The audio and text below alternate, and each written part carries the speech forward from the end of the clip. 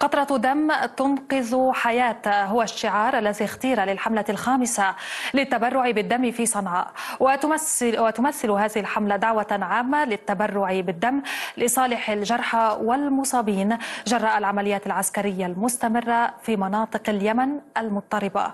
خليل القاهري والمزيد.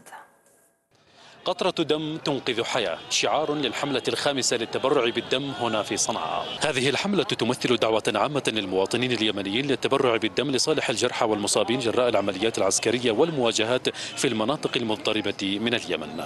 نزلنا في هذه الحملة لجمع كميات من الدم المتبرع به وتوريدها للمستشفيات لإنقاذ حالات المرضى والمصابين والجرحى.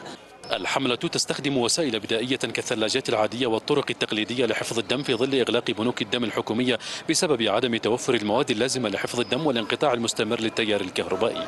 هذا واجب وطني على كل واحد. يمني لابد أنه يقوم بواجبه الوطني تجاه وطنه وتجاه المواطنين. نحن نحن أخوة لابد من كلنا أن نتكاتف حملة قطرة دم تنقذ حياة تأتي فيما المرافق الصحية والمشافي اليمنية تشهد تدهورا غير مسبوق في خدماتها الصحية في مختلف مناطق البلاد.